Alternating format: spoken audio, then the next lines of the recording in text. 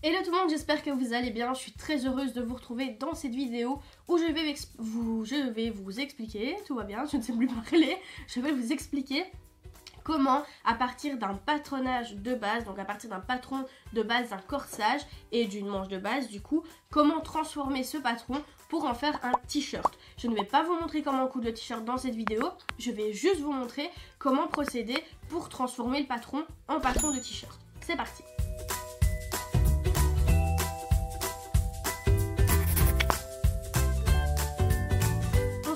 donc avec notre corsage de base juste ici et notre manche de base juste ici.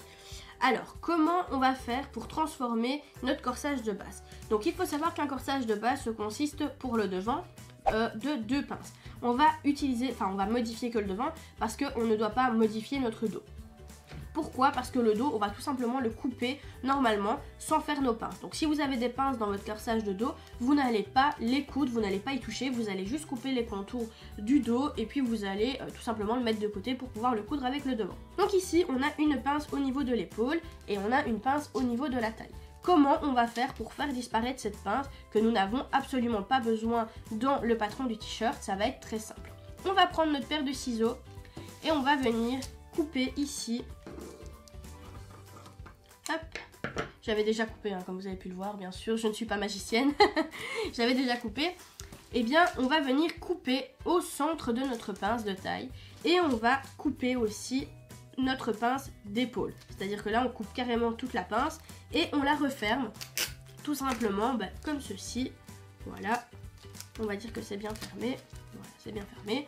On la ferme comme ceci. Du coup, notre pince a disparu et elle a réapparu au niveau de la taille. Vous allez me dire, ok, mais moi je veux quand même pas de pince au niveau de la taille. Pas de souci, on remet juste bien droit le bas du corsage, simplement. Et quand on va venir couper notre tissu euh, avec ce patron, on va se positionner sur le tissu, on va le découper sur tout le contour, c'est-à-dire tout le contour comme ceci. On le met bien en pli de tissu au milieu devant parce que nous n'avons pas besoin de couture au niveau du milieu devant sur un t-shirt ni au niveau du milieu dos donc ce sera coupé en pli de tissu et on ne va pas s'occuper de la pince qui est sur le patron, on ne s'en occupe pas du tout. Maintenant, si vous voulez recentrer plus votre t-shirt, à ce moment-là, vous allez venir le recentrer au niveau de, du sous-bras. Donc vous allez rentrer de la mesure dont vous voulez recentrer votre patron. Alors pour euh, tout simplement tout ce qui est déplacement de pince, euh, ouverture de ouverture de découpe, découpe princesse, etc. Je vous explique tout ça dans la formation que j'ai réalisée, modification de patronage, où je vous explique justement bah, tout ce qui est déplacement de pince, découpe, comment les faire, etc. Donc ça se passe dans la description. Vous avez le lien qui va donc vous rediriger vers la programmation de toute la formation. Donc vous allez avoir vraiment tout le programme complet pour savoir ce que vous allez apprendre dans cette formation. Ensuite, une fois que ça c'est fait, on va passer sur notre manche. Parce que oui, un t-shirt a des manches, sauf si on compte faire euh, un débardeur homme. Euh, vous voyez le débardeur euh, sans manche, un Marcel, on appelle ça chez nous en Belgique, je ne sais pas comment on appelle ça en France. Mais voilà. Alors, on passe sur la manche. Alors, une manche en moyenne, on va prendre une manche homme et une manche femme.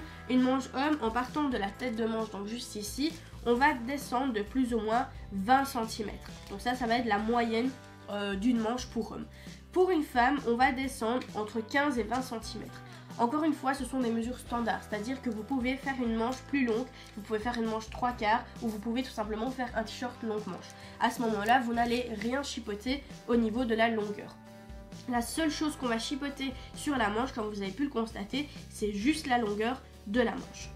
Donc voilà, vous avez pu constater que transformer un corsage de base en patron pour t-shirt et la manche également n'est pas très compliqué. De toute façon, vous pouvez également apprendre d'autres modifications dans la formation modification de patronage comme je vous ai dit juste avant, que je vous en ai parlé donc juste avant.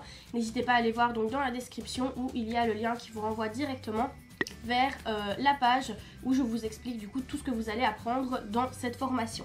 Alors si ce genre de vidéo vous a plu, n'hésitez pas aussi à laisser un pouce vers le haut, ça fait toujours plaisir. Et si vous, vous avez une autre technique pour réaliser des t-shirts, eh bien n'hésitez pas à le partager dans les commentaires. Comme ça tous les abonnés pourront voir aussi les techniques que vous utilisez vous pour faire vos t-shirts.